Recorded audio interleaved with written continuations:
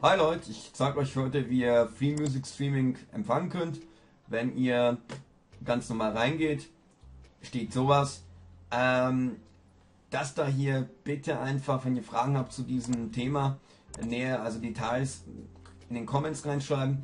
Ansonsten lasst es einfach, äh, wie schon gesagt, das, das ist kompliziert.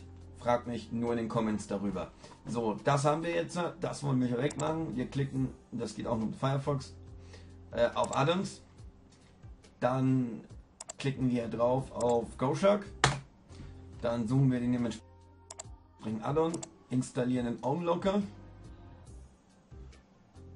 Der wird erstmal runtergeladen. Wir starten ein Neustart und gehen jetzt nochmal auf GoShark.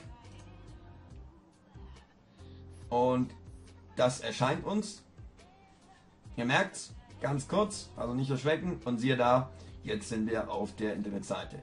So, das war es eigentlich von diesem Tutorial. Hiermit bin ich schon zu Ende. Ähm, es gibt noch Tools und so weiter von GoShark. Ähm, wenn ihr irgendwo mehr wissen wollt, schaut euch die jetzt hier eingeblendet werden, die anderen Videos ein von GrowShark.